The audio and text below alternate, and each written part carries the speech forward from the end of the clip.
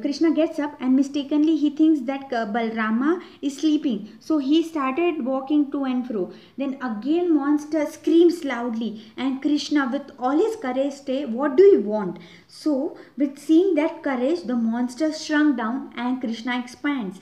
Again the monster shouts loudly and Krishna is what do you want? Then Again, the epic mentions that Krishna expands and the monster shrunk down. The last time the monster screams loudly and Krishna is like, What do you want? Then the, the epic mentions that Krishna expands more and the monster is shrunken in so small size. Then Krishna takes that monster and ties it to the end of his dhoti and uh, plucks it down. Then in the morning, when Balrama wakes up and he was terrified and he mentions Krishna that, you know, what? Last night i encountered a monster and it was so big.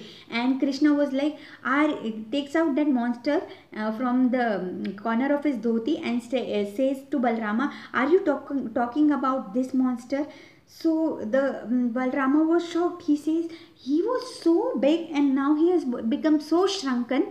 So ved vyas with the mouth of krishna want to explain us that if you avoid what you must face then it becomes bigger than you and it take control over you. Similarly if you face what you need to face you become bigger than it and you take control over it.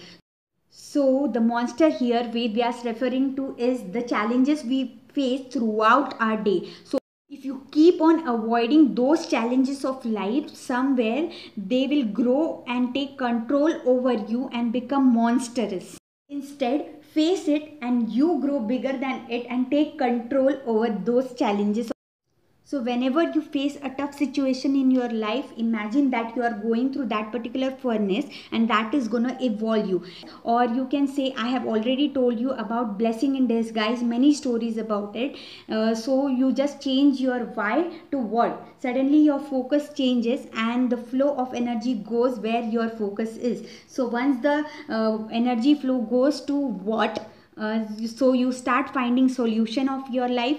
Be consistent. Use the rule of five and you will mm, uh, always succeed. Then if you say that uh, i don't have tough challenges in my life but i have tough persons in my life then even you can face it by writing 10 uh, grateful things you feel about that tough person in your life if you feel that it's still not working i cannot write grateful things about that person. Imagine the law of redemption is working and um, all you can do is you can use that ho'oponopono technique draw a heart and place that person's photo inside it and say the magical words that i am sorry please forgive me thank you and i love you so have a magical morning. Celebrate your morning. I'm posting it today so that you can make your magic, magical morning tomorrow itself and you will keep your attitude positive throughout the day. So to just it down, our today's uh, tomorrow's activity is first is when you get awaken,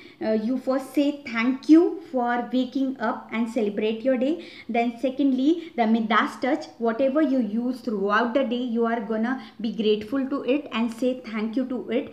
Then third is count your blessings. Then fourth is uh, try to uh, do whatever you have missed in all these particular days of us now we are on 11 day. So um, recall all the things and what is applicable to you to make your day or stay positive throughout the day. And last but not the least do not forget to hold your gratitude stone and recall whole of your day. Whatever good things happen to you and choose the best one of it. Feel as much gratitude as you can and just say three simple words that is thank you thank you and thank you. So celebrate your morning. Have a magical morning. And i must say a very very very good morning